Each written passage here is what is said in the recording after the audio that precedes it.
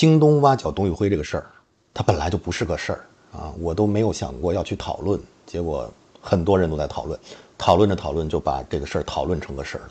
我直播间里不停的有人在问啊，这你怎么看啊？京东要挖董宇辉了啊？京东会不会把董宇辉挖走？董宇辉会不会去京东？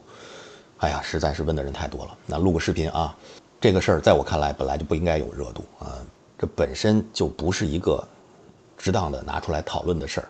京东那些直播间拉出了横幅啊，欢迎董宇辉来京东，是为什么？很简单，就跟这些博主去录视频去分析董宇辉会不会去京东这件事儿是一样的，就是吸引眼球、搞流量、博热度、博关注。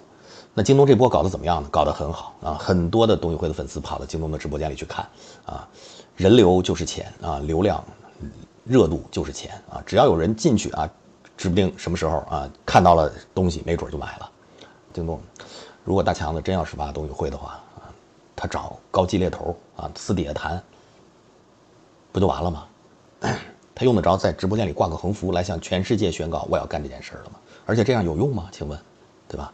而且之前京东要和宇辉通行进行合作，这个新闻是没有问题的啊，确实有这么个事儿，也在谈。但是把之前小作文时候的。这个事儿又翻出来，和这件事儿结合到一起来炒，那就是另一个事儿了，啊！之前小作文的时候啥传什么京东的副总裁已经到了陕西什么，是不是还记得吧？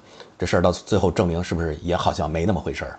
所以这些大企业之间如果来回来去挖人，他们肯定用的都是高级猎头啊，人家有的是能耐，私底下拉上线儿接触，拉横幅有什么用啊？要不我这也拉个横幅啊？我这么写，啊，董宇辉即将莅临阿阿珍杂谈直播间，反正这个即将。十年也是他，二十年也是他，但是热度不就有了吗？